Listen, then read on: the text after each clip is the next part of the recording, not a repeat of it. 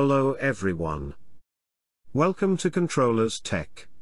This is yet another video in the STM32 Ethernet series, and today we will see how to create a TCP server. As mentioned in the poll, I will cover the raw API first, and this is why this video will cover the TCP server with raw API. I have already covered the UDP server and client parts, and you can watch them in the Ethernet playlist. So let's start the Cube IDE, and create a new project. I am using STM32F750 Discovery Board. Give some name to the project, and click Finish. I am skipping the setup part, and you can watch the previous videos for the same. Check the Ethernet playlist, and watch the connection videos. So this is the main file. First of all I am going to test the ping, just like the UDP videos. Let's build and run this.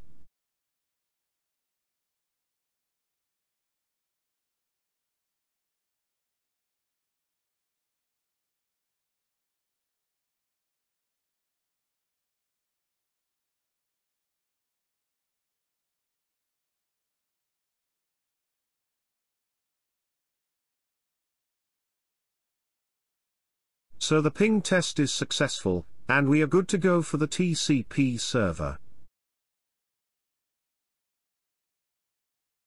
Here are the two files for the TCP server, and let's copy them in our project.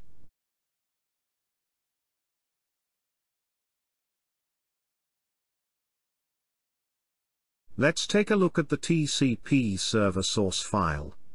I took these files from the examples provided by the ST, and modified them a little. So some of the functions should be kept as it is. I will explain the ones which we can modify. Here are the steps given to create the server. You can check out this website for more details. First step is to create the TCP block.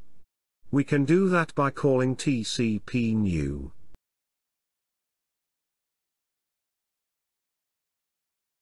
Then we need to bind the TCP block to the local IP. Here we will do that by first converting the IP address into the integral format, and then by calling the TCP bind function. Let's change the server port to 10.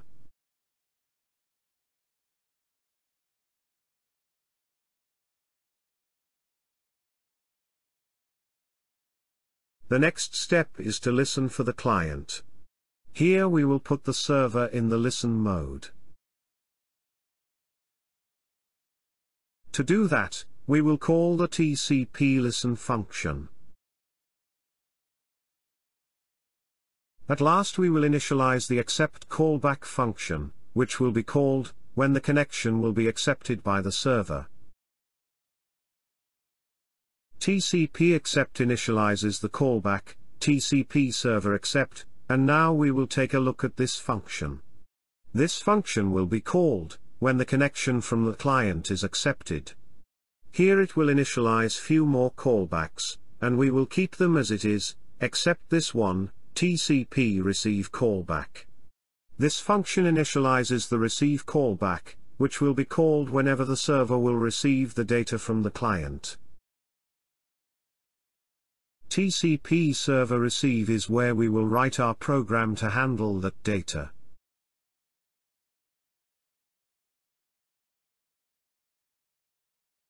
Here few things are predefined. Like if the server receives the empty frame, we will close the connection. The code is commented pretty well, you can read about the rest.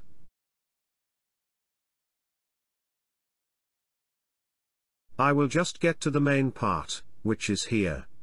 When we will receive the data for the first time, the state will be set to accepted. Here we will change the state to received, and also initialize the TCP sent callback.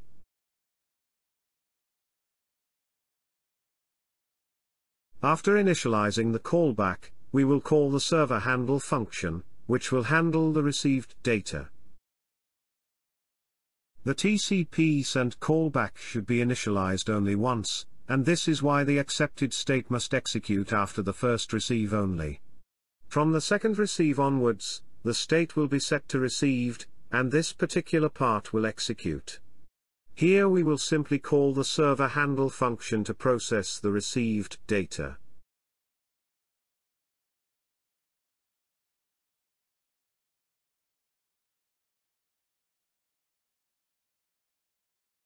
Let's take a look at the server handle function. This is where you will modify the program according to your requirement. First of all we will get the client's IP address, and the port. This is just in case if you want to make some use of it.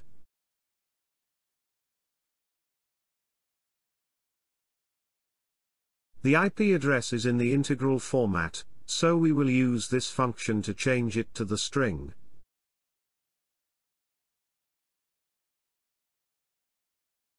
Then I am copying this data into the buffer, which I will later send to the client. It's basically the incoming data, followed by this string.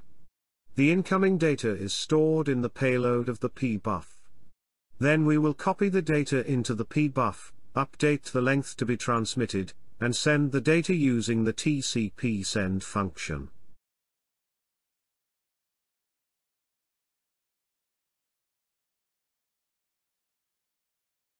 Let's write the main code now. First we will include the header file. Then inside the main function, initialize the TCP server. Like I mentioned earlier, it will initialize the rest of the things. This is it, let's build it once to check for any errors. We have some warnings, but they are due to the unused variables, so it's alright. Let's debug the program now. I am using the Hercules for the TCP client.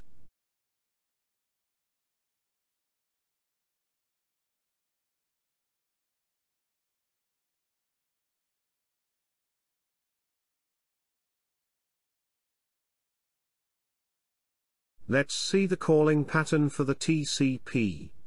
I am setting a breakpoint inside the TCP server accept callback.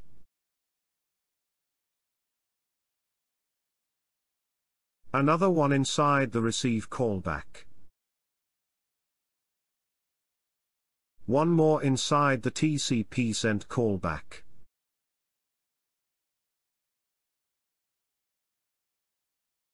And the last one inside the connection close. Let's run it now, and see the order of the execution.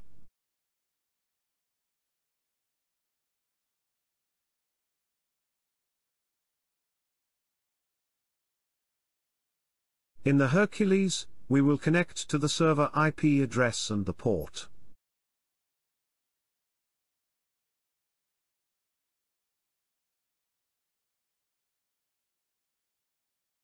And here we got the first hit in the accept callback. This callback is called, when the connection between the server and the client is accepted. And as I mentioned, it initializes the rest of the callbacks. Here we got the message about the connection. Now let's send some data to the server. And we got a hit in the receive callback. Here we process the data and send something back to the client. Once the client receives the data, it sends the acknowledgement, and we got the hit in the sent callback. Also note the data, it sends the received data, along with some additional data.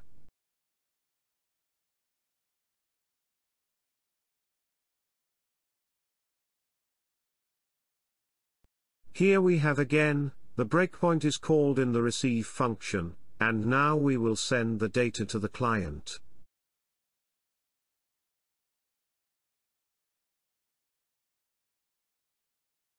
Let me disable the breakpoints.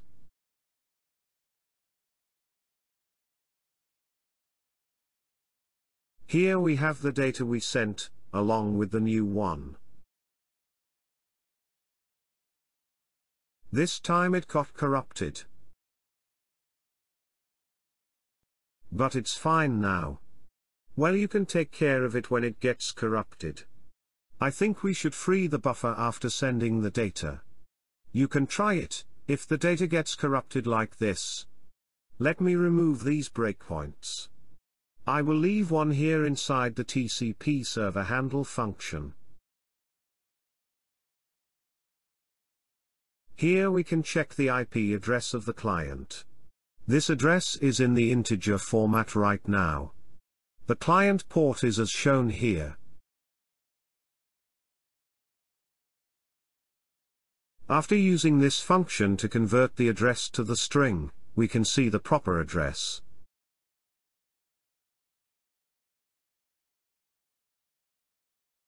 If we do the IP config on the Windows machine, we can see the same IP here. So we are able to fetch the client IP, its port, the data client sent, and also we were able to send some data back to the client. This is it for this video. I hope you understood it. I myself don't know much about the protocols yet, so this is best I can do for now. In future, after learning about these protocols, I will release a better version, where I will make a practical application using these protocols. You can check out the previous videos for the connection process, and the UDP client and the server. The next video will cover the TCP client mode. You can download the code from the link in the description.